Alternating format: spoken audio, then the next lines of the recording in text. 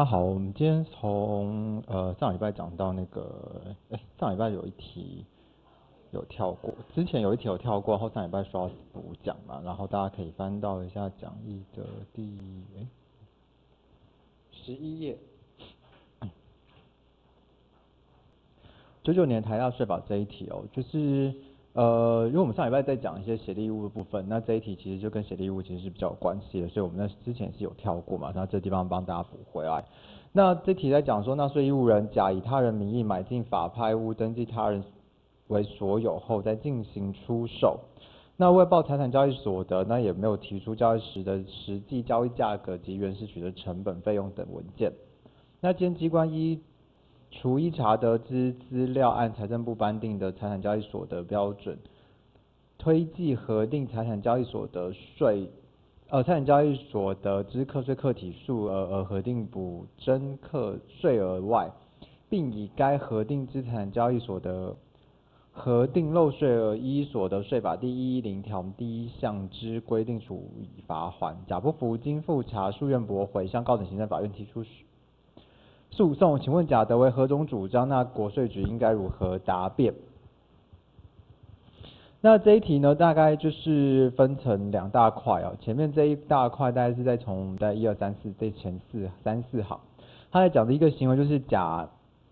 买房买了一个房屋嘛，然后登记在自己的不是登记在自己的名下，登记在别人名下，然后后来又再把它出售，所以他要赚取一个所得。那而且他没有申报所谓财产交易所得，因为当然，因为他不是登记在自己的名下，所以他自己当然不会申报财产交易所得。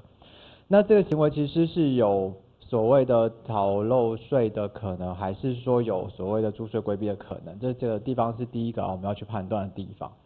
那第二个，如果他是租税规避的话，那我们就要做调整的动作。那租税规避的调整的可能性有很多。那因为他这里没有提出当时的交易价格跟原始取得成本跟费用嘛，所以这个部分金额要怎么来的？那这地方金额大概就是从我们刚刚上一个礼拜跟大家讲的嘛，因为国税局要能够去调查，他就要去调查。那没有办法调查，他就只能怎么样？就推计课税。所以后来他就要用推计课税的方式去核定这个他应该补税的金额。那再来的下一面下面要提到就是，那他用推计课税的金额来去核定他的处罚。那这个地方是不是有所谓的处罚不得用推计的金额来去做处罚这个规定的问题嘛？那这是我们前面提到的三个比较重要的，这整题面大家比较碰触到三个地方，然后再从这三个点去着手来看一下这边有什么问题哦。第一个从甲的方向来看了，嗯，还是写一下好了。因为第一个，我们在讨论它到底是一个租税的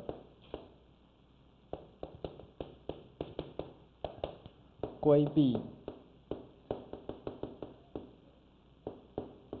还是一个逃漏税的行为嘛？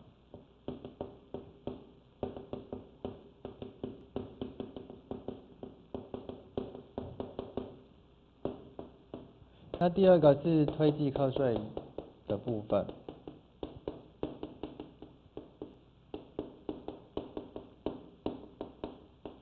那第三个就是它的处罚。那在第一个部分来探讨的话，我通常我们会首先主主要去仔细仔细的去看说，其实它是一个所谓的登记在他的名下，所以这是有一个建名登记的一个关系。那建名登记的关系，其实在民法上是一个承认这样的一个行为。他认为说建名在民法上的建名登记是一个无名契约，但它是一个有效的契约，所以。他在民事上的契约是有效的，所以他有没有隐匿这个事实？没有，他也是知道这个事实。所以这一题其实比较难去处理的第一个点，是因为他没有去做任何申报动作，但是他的契约是有效的契约，所以就甲而言，他可能第一个主张，他只是一个租税的规避，而不是有逃漏税的行为。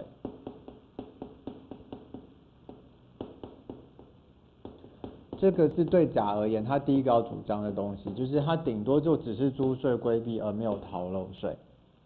那第二个呢，用推计的金额来去做合课补征，这地方应该原则上是甲没有办法做任何主张的，因为他没有提供任何的单据跟资料。那国税局要怎么样核定，当然也只能用推计的方式。只是推计的金额能不能拿来当处罚金额，这个地方又是甲应该要主张，就是推计的金额不可以拿来当处罚金额。哦，对不起。推计如果是租税规避的话，第一个要先讨论的是租税规避是只能够补税而不得处罚，所以对甲而言，他第二个要主张的应该是不得处罚。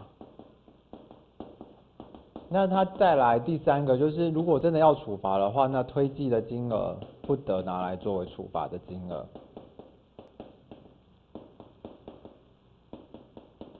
这是从甲的方向来看。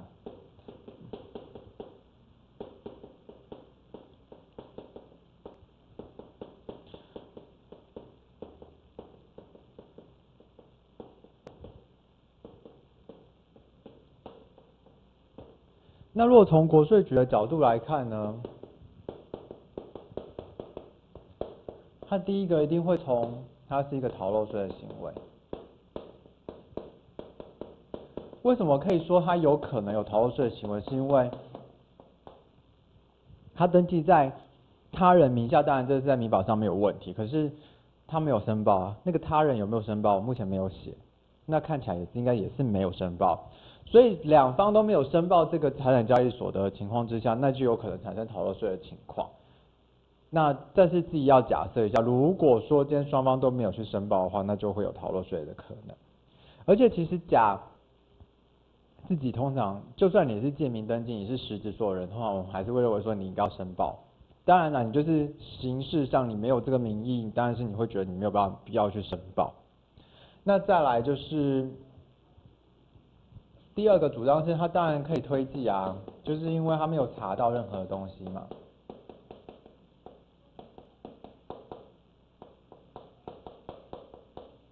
那第三个是，他可以依据那个最高行政法院的决议。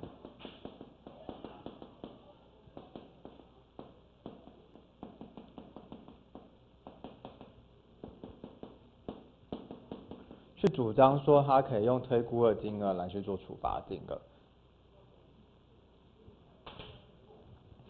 那就双方而言，大概主张大概就是这样哦，因为他没有进协力物，所以他可以推计嘛，嗯，至少是逃漏税，或者是至少可以补税，呃，用。经济观察法方向去做补税的动作。那这个地方记得就是，因为我们在写这个时候，纳保还没有把纳保法写进来嘛。那纳保纳保法其实它的新的规定是什么？就是如果它是租税规避行为的话，租税规避行为，租税规避行为的话，通常是什么？课滞纳金啊，这地方是不处罚的，就会带到这个地方来。如果是那所以对于国税局而言，他当然他尽可能他就是，如果按照新的规定，他常通常会把它直接拉到说，它是一个有没有他该报没有报短漏报的情况，那他就会认定你可能是有逃漏税的情形，那你逃漏税的话，他就会直接做处罚动作。那再来是这一题的部分，那接下来我们来看一下，回到第。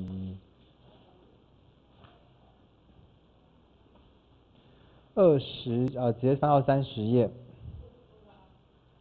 我们在讲税捐的整个救济程序哦，那税捐救济程序其实它是比较特别的一个状况，是它跟我们的一般救济程序、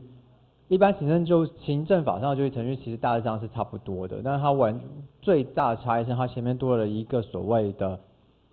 呃诉在诉愿之前的一个先行程序，就是所谓的复查程序。可是并不是所有跟税有关的。处分都要经过复查，而是合课处分才需要经过复查。如果你今天去申请的是一个退税，要被否准了，那你的退税否准的那个处分其实是不需要经过所谓的复查程序的，所以整个程序来讲，这是